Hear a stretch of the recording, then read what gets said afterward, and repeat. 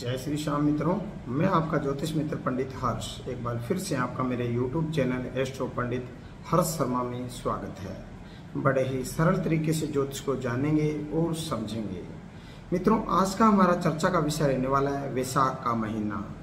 जैसा कि मित्रों आप जानते हैं, वैशाख मास चल रहा है और वैशाख माह में कुछ ऐसे उपाय मैं आपको बताने जा रहा हूँ, जिन्हें करने से हम ले पाएँगे अपने जीवन में लाभ। तो जुड़े रहिए मेरे यूट्यूब वीडियो के साथ में अंत तक आइए मित्रों, जानते हैं विशाख माह में करने वाले कुछ ऐसे विशेष उपाय जिन्हें करने से हम ले पाएँगे अपने जीवन में लाभ। मित्रों, वैशाख मास 2022 17 अप्रैल से 16 मई 2022 तक चलेगा।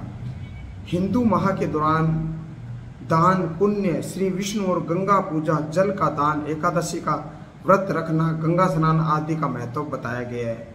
आइए जानते हैं कि इस माह में कौन से ऐसे पुण्य कार्य हैं जिन्हें करने से हम विशाख माह में लाभ ले पाएँगे मित्रों। उन्हीं में से मित्रों, एक उपाय है। विशाख मास में भगवान विष्णु की पूजा का विधान है। इस दौरान भगवान विष्णु की तुलसी पत्थर से माधव रोग की पूजा की जाती है। उन्हें पंचामृत का भोग लगाएँ और उस पंचामृत में तुलसी पत्र डालना न भूलें। साथ ही उन्हें सफ़ेद या पीले फूल अर्पित करना चाहिए। ऐसा करने से हम जीवन में लाभ ले पाएँगे मित्रों। मित्रों, इसी माह के दौरान आपको ओम माधवाय नमः मंत्र का नित्य ही कम से कम 11 बार जाप करना चाहिए। साथ ही भगवान विष्णु के केशव, हरि, गोविंद, त्रिविक्रम, पद्मनाभ, मधुसूदन, अच्युत और ऋषिकेश नाम का भी ध्यान करना चाहिए मित्रों। मित्रों, इसी माह में अक्षय तृतीया के दिन भगवान विष्णु के नर नारायण का सहित परशुराम और है ग्रीव का अवतार हुआ था। इस माह में नरसिंह भगवान कुम अवतार, माँ गंगा भगवान, चित्रगुप्त की पूजा भी की जाती है मित्रों। मित्रों, वैशाख माह में अमावस्या आखा तीज और पूर्णिमा के दिन पितरों के निमित्त तर्पण और पिंड दान करना चाहिए मित्रों। विशाख माह की कथा भी इसी का महत्व बताया गया है। कथा के अनुसार धर्म वरण नाम, नामक के विप्र ने विशाख अमावस्या पर विधि विधान से पिंड दान करके अपने पितरों को मुक्ति दिलाई थी। श्राद्ध करने से पितरों का आशीर्वाद भी मिलता है, मित्रों। मित्रों, इस महीने में भगवान शिव जी की पूजा करने से कई गुना शुभ फल मिलता है और वे जल्दी प्रसन्न हो जाते हैं, मित्रों। मित्रों, इस माह में जल का दान सबसे बड़ा पुण्य दान माना गया है। अतः प्याऊ लगाकर राहगीरों को जल ज़रूर पिलाएँ। इस पुण्य कार्य के माध्यम से जातक त्रिदेव की कृपा को प्राप्त करता है मित्रों। मित्रों, इस माह में पंखे का दान करना भी पुण्य काम है। धूप और परिश्रम से पीड़ित लोगों को जो पंखे से हवा खिलाकर शीतलता प्रदान कराता है, वह इतने ही मात्र से निष्पाप होकर भगवान का प्रिय हो जाता है। पुराने समय में ताड़ का पंखा दान किया जाता था। इससे ब्रह्मलोक की प्राप्ति होती थी मित्रों। और आज भी किए जाते हैं कई स्थानों पे मंदिरों में तो इससे ब्रह्मलोक की प्राप्ति होती है मित्रों। मित्रों अन्न दान करने से बड़ा कोई पुण्य नहीं है। दोपहर में आए हुए ब्राह्मण अतिथि या भूखे जीव को यदि कोई भोजन करवाए तो उसको अनंत पुण्य की प्राप्ति होती है मित्रों। मित्रों, शास्त्र कहते हैं, जो किसी जरूरतमंद व्यक्ति को पादुका या जूते चप्पल दान करता है, वह यमदूतों को तिरस्कार करके भगवान श्री हरि के लोक में चला जाता है। तो ये दान भी करना चाहिए मित्रों। मित्रों, निद्रा के दुख का नाश होता है।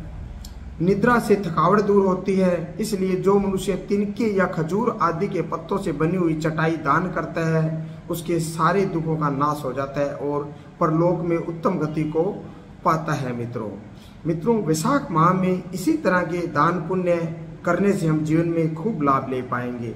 इसी दौरान इस माह में विशेष दिनों में नदी, जलाशय या कुंड आदि में स्नान करना बहुत ही फलदायी माना गया है मित्रों। मित्रों वैशाख माह में सूर्य देव को अर्घ्य देकर बहते हुए जल में तिल प्रवाहित करना चाहिए मित्रों। मित्रों, इसी माह में काल सर्प दोष से मुक्ति पाने के लिए भी अमावस्या तिथि पर ज्योतिषीय उपाय किए जाते हैं। अमावस्या के दिन पीपल के पेड़ पर सुबह जल चढ़ाना चाहिए और संध्या के समय दीपक जलाना चाहिए मित्रों। मित्रों, शनि देव से मुक्ति दक्षिण भारत में विशाख अमावस्या पर शनि जयंती मनाई जाती है। विशाख अमावस्या पर शनि जयंती भी मनाई जाती है, इसलिए शनि देव तिल, तेल और पुष्प आदि चढ़ाकर पूजन करना चाहिए मित्रों। मित्रों, सभी तरह के संकटों से मुक्ति के लिए विशाख कथा का श्रवण करें और गीता जी का पाठ करना चाहिए मित्रों। मित्रों, विशाख माह में तेल लगाना, तली भुनी चीज़ों को खाना, दिन में सोना, कांस्य के पात्र में भोजन करना, पलंग या खाट पर सोना, घर में नहाना, निषिद्ध पदार्थ खाना, दो बार भोजन करना तथा रात में खाना आदि त्याज माना गया है मित्रों। मित्रों, विशाख माह में पौराणिक कथा सुनने से पुण्य की प्राप्ति होती है मित्रों। मित्रों विशाख माह में दान का महत्व बढ़ जाता है। कहते हैं कि यदि अपने पूरे वर्ष कोई भी दान नहीं किया हो तो इस माह में दान करके पूरे वर्ष में किए गए दान का फल भी प्राप्त आप कर सकते हैं मित्रों। मित्रों विशाख माह की दोनों एकादशी में व्रत रखना बहुत ही महत्वपूर्ण और पुण्य का कार्य होता है मित्रों। मित्रों विशाख माह में गंगा माता की उपासना करना पुण्यदायक है। इसके साथ ही अमावस्या पर शनि देव की उपासना करना भी चाहिए मित्रों। ऐसा करने से हम जीवन में लाभ भी ले पाएँगे और वैशाख का पुण्य भी साथ में ले पाएँगे। मित्रों, इसी तरह की अन्य जानकारी जानने के लिए हमारे यूट्यूब चैनल को लाइक करें शेयर करें और ज़्यादा से ज़्यादा शेयर करें, ताकि आपको मेरे द्वारा बताए गए ज्योतिषीय उपाय आपको मिल सके। मित्रों, आज के लिए बस इतना ही। जय श्री श्याम।